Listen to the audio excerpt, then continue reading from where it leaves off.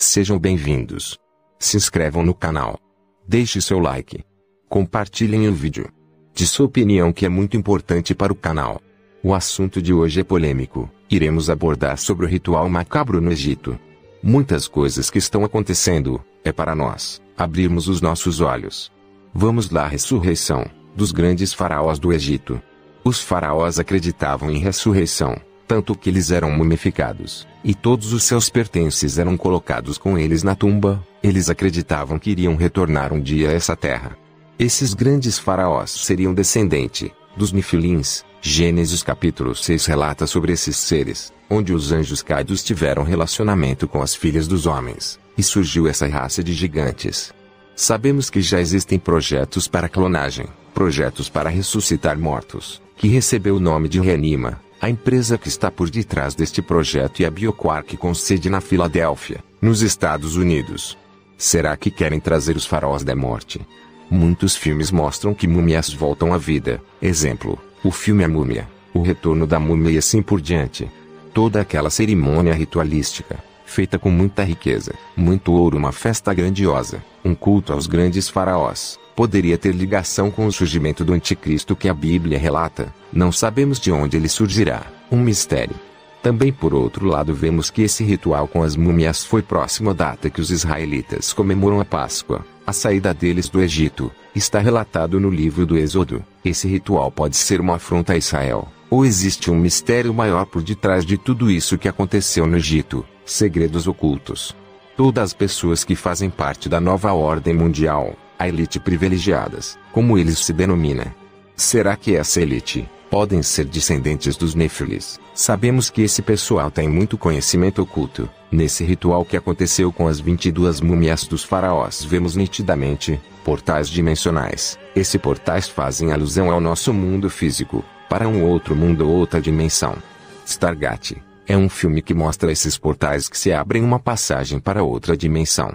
Existem outros filmes que mostram esses portais. Eles sabem que isso é possível, por isso vem tentando já faz algum tempo.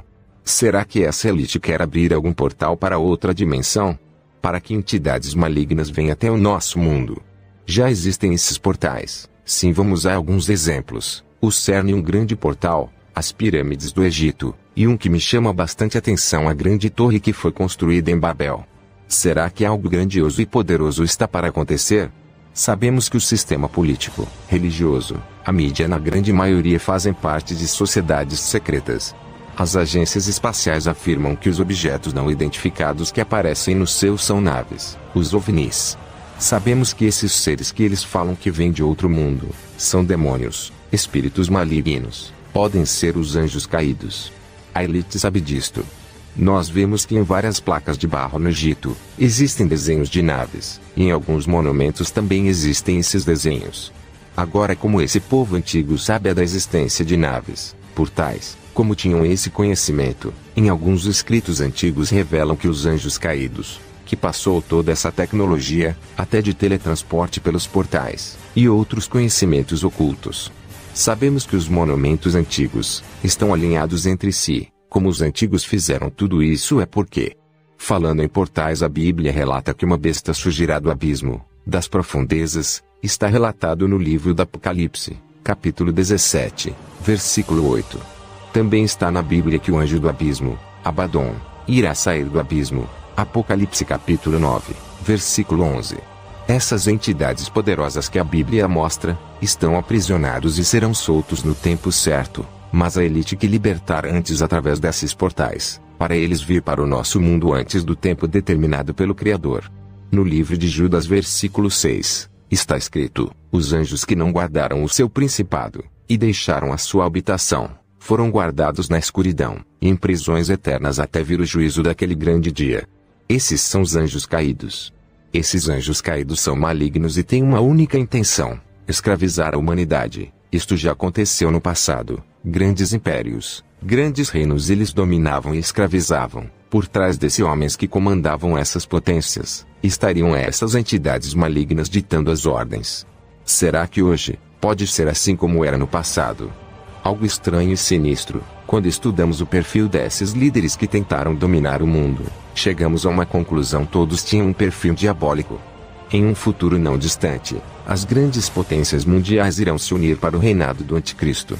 Hoje estamos passando por uma grande crise mundial econômica, e sem falar na área da saúde, uma praga sobre nós, nem o nome podemos falar para não sermos censurados.